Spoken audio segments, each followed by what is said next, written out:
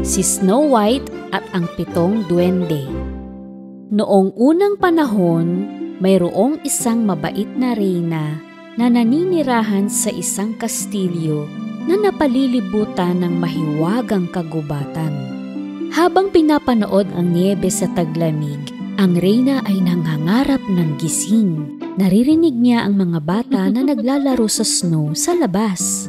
Binuksan niya ang bintana upang tanawin ang mga bata at hinangin ang paboritong pulang panyo ng reyna.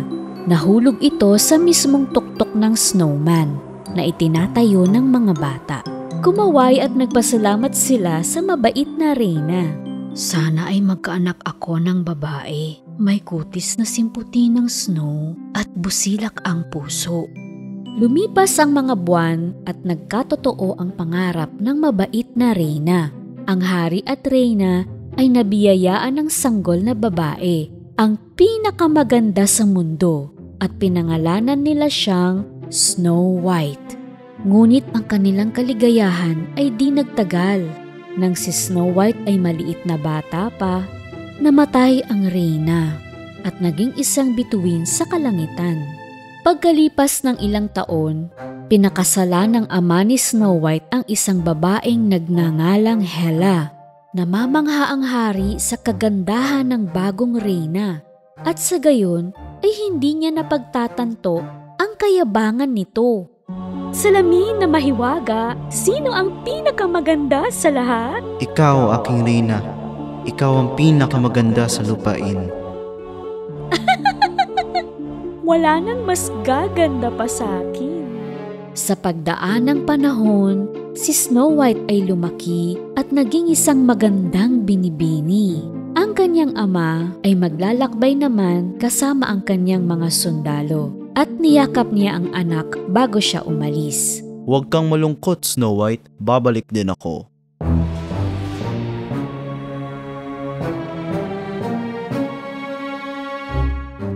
Isang araw, tinawag ng masamang loob na si Hela ang kanyang tagapagsilbi na si Dankov. Alisin mo ang tabing ng salamin ko, Dankov. Ngunit nang hatakin ni Dankov ang sapin, tumakip ito sa kanyang sarili. Hay naku! Lumabas ka na nga! Habang hinahangaan ng reyna ang sarili sa salamin, nagsambit siya ng, Salamin, salamin na mahiwaga, sino ang pinakamaganda sa lahat? Sa lupaing ito, aking reyna, hindi na ikaw kundi si Snow White ang pinakamaganda. Nagngingit-ngit sa galit si Hela. Walang sino man ang maaaring maging mas maganda kaysa sa akin. Tila lumindol ang buong kastilyo sa kanyang galit. Nais niyang sirain ang kagandahan ni Snow White. Gumawa siya ng isang plano at inutusan ang mga ngaso ng kaharian na dalhin si Snow White sa kagubatan at patayin ito. Ibalik mo sa akin ang kanyang puso. Pinagkakatiwalaan ni Snow White ang mga ngaso ng kaharian kaya't sumama siya rito. Habang daan, nakakita siya ng isang sugatan na ibon sa lupa. Pinulot niya ang ibon upang lapatan ng lunas ang pakpak nito.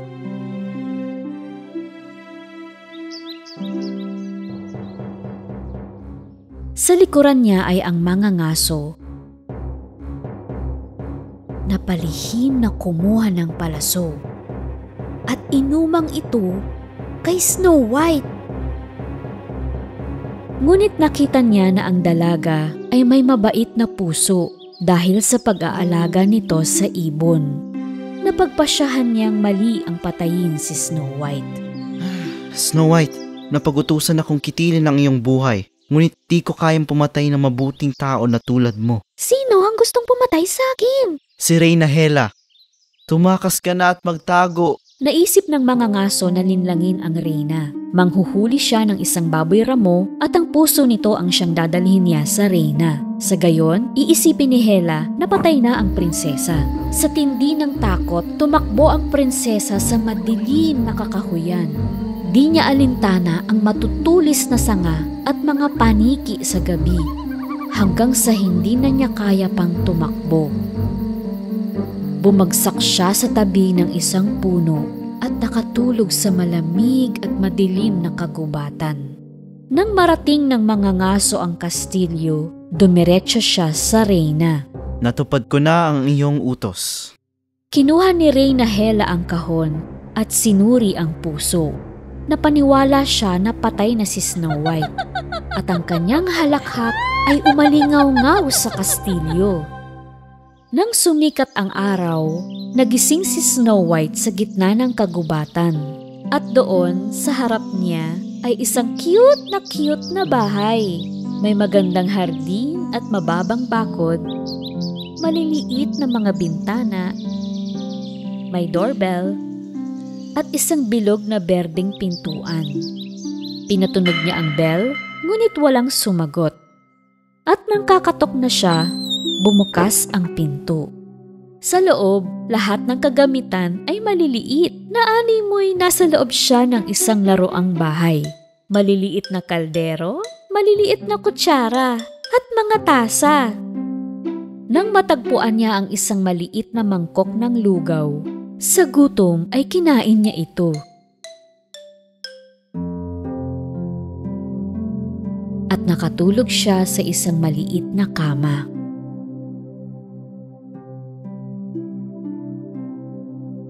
Sa di kalayuan, ang mga minero na may-ari ng bahay ay pauwi na galing sa trabaho.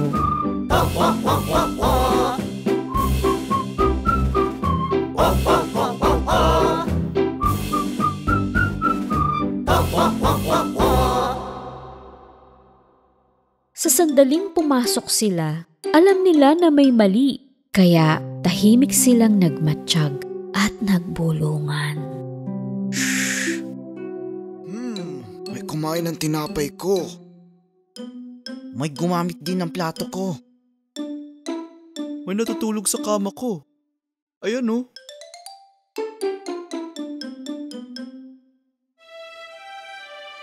Wow, ang gandang babae. Ay! Naku, ayan, saluin mo. Dali, aray, Oh. aray. Dali, aray, aray. Naku, mainit eh. Saluin mo. Ayan.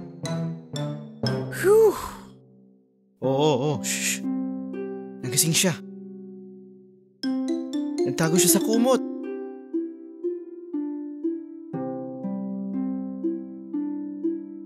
Huwag ka matakot sa amin, Binibini. Kami ang pitong duwende.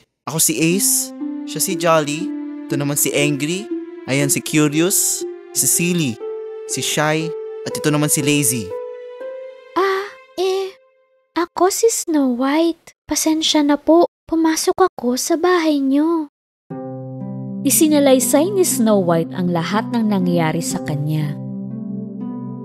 At nalungkot sila sa narinig na kwento. Kaya pumayag sila na manatili si Snow White sa kanilang maliit na bahay. Ngunit, sa isang kondisyon. Mahilig kami kumanta. Maganda ba ang tinig mo, prinsesa? Snow White is my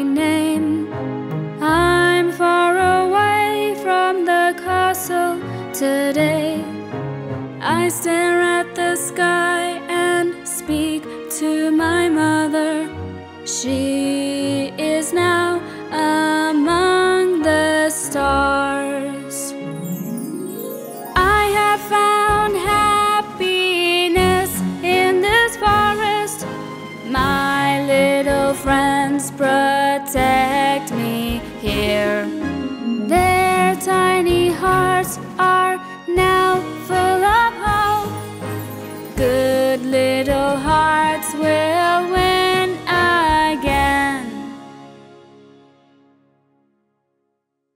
Samantala, sa ibayong lupain, mayroong isang gwapo na prinsipe. Ang pangalan niya ay Antoine. Mahilig siyang lumabas sa gabi at tumingin sa mga bituin na nagpapaalala sa kanya ng mga taong mahal niya. Isang gabi, nakita niya ang mukha ni Snow White sa kalangitan at nagkaroon siya ng pagnanais na hanapin ang dalaga. Isang diwata ang nagsabi na nasa panganib ang binibini at binigyan pa siya ng isang kwintas na may hugis puso. Kaya't sakay ng kanyang kabayo, naglakbay na si Prinsipe Antoine upang hanapin ang magandang mukha sa langit. Samantala balik sa kastilyo, ang reyna na may masamang kalooban ay muling haharap sa mahiwagang salamin. Dankav! Alisin ang tabing ng salamin. Sumunod naman si Dankov, ngunit sumabit ang tabing sa salamin at muntik na itong matumba. Si Dankov ay kabado sa harap ng reyna, kaya lagi tuloy siyang pamali-mali. Siyang dahilan kung bakit patuloy na naiinis sa kanya ang reyna. Nang makalabas na si Dankov, nais marinig ni Reyna Hela mula sa mahiwagang salamin kung gaano siya kaganda. Salamin na mahiwaga, sino ang pinakamaganda sa lahat? Paumanhin, aking reyna, ngunit si Snow White ang pinakamaganda. Hindi! Akala ko ba patay na si Snow White? Buong gabi nagising ang reyna. Gumagawa ng masamang balak na patayin si Snow White. Nakaisip siya ng mahusay na paraan na ikubli ang sarili sa anyo ng isang maliit na kuneho.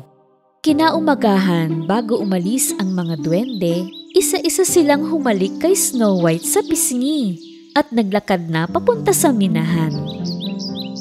Hmm, prinsesa, huwag mong pagbubuksan ng mga estranghero ha. Delikado. Mukhang mapayapa naman, kaya't nagdilig si Snow White ng mga bulaklak sa hardin. Napansin ng prinsesa ang isang maliit na kuneho na nakaupo sa hardin na tila nasaktan. Tumungo siya at kinuha ito at dinala sa loob ng bahay. Nilapatan niya ng lunas ang nasaktan na paa ng kuneho at hinayaan itong magpahinga sa kama. Kunwari ay natutulog pero sa sandaling lumabas ng silid ang prinsesa, dumilat ang kuneho at tumingin sa paligid. Tapos, ito ay tumalon-talon-talon at bumalik sa dating anyo ni Hela. Ito mismo ang pinaplano niya. Pinatakan niya ng lilang laso ng unan. Nang sa gayon ay kapag matutulog doon ng prinsesa, mamamatay siya sa lason. Napagod si Snow White sa maghapong paghahardin, kaya't pumasok na siya upang magpahinga. Mahihiga na sana siya sa una na may lason nang marinig ang mga duwende na nakauwi na. Sinalubong sila ng prinsesa sa pintuan. At pagkatapos ng masarap na hapunan, sumayaw sila buong gabi. Sa pagod ay nakatulog si Snow White sa harap ng pugon. Mabuti na lang at naiwasan niyang matulog sa nakalalasong unan. Nang makabalik ang reyna sa kanyang kastilyo, inabutan niya si Dunkov na nakatulog na sa pintuan. Sa pag-aakalang nagtagumpay siya, pinuntahan niya ang mahiwagang salamin. Salamin na mahiwaga, sino ang pinakamaganda sa lahat? Aking reyna, si Snow White na kasama ng pitong duwende ay mas maganda kaysa sayo. Hindi! Pinakamaganda! Ako! Gagawa uli ako ng plano na papatay kay Snow White. Makalipas ang ilang araw, habang sinusulsihan ni Snow White ang ilan sa mga lumang damit ng mga duwende, nakarinig siya ng katok sa pintuan. Kumatok ito ng tatlong beses. Sumilip si Snow White sa pintuan upang makita kung sino ito. At naroon ang isang matandang babae na may basket ng mansanas. Sino po sila? Ako ay tindera ng masasarap na mansanas. Nais mo bang tumikim ng isa? Nung una, natatakot si Snow White. Kaya lang, mahilig talaga siya sa pulang mansanas. Eto oh, magandang ining, libreng patikim. Tinanggap ni Snow White ang mansanas na inabot ng matanda. At kumagat siya. Ang mansanas ay may lason. Natumbas siya sa lupa bago pa man makahingi ng tulong.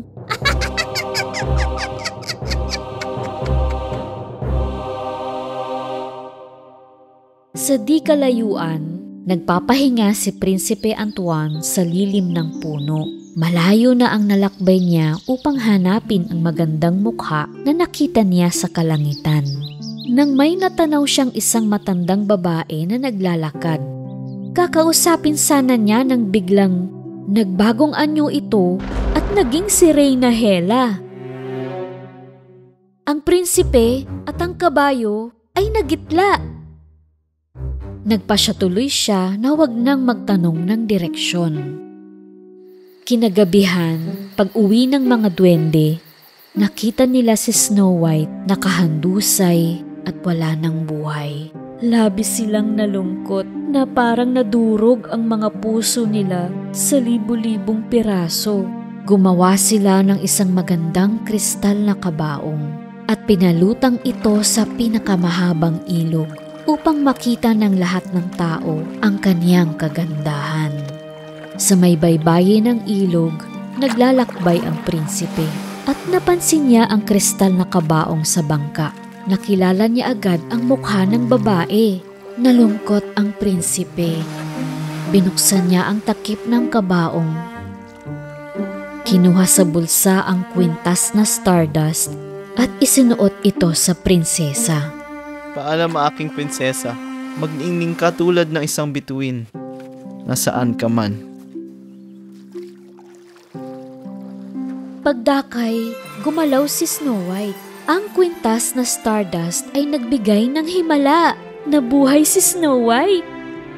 Nang magising, namangha si Snow White sa gwapong prinsipe na nakatayo sa tabi niya na nagligtas sa kanya. Nang sa wakas ay nakabalik sa kastilyo ni Snow White, ikinuwento niya at ni Prinsipe Antoine sa hari ang lahat-lahat.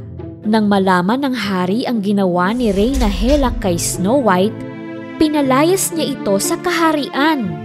Ang mahiwagang salamin at lahat ng pag-aari ng Reyna ay kinandado ng hari sa isang tagong silid sa kastilyo.